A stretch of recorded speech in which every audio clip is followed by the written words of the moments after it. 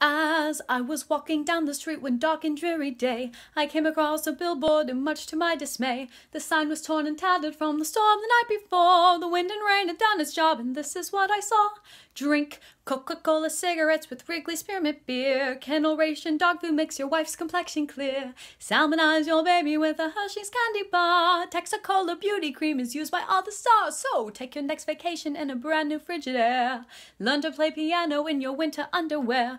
Doctors say that babies should smoke until they're three, and people over 65 should bathe in Lipton tea. Hey! Advertising is getting very, very weird.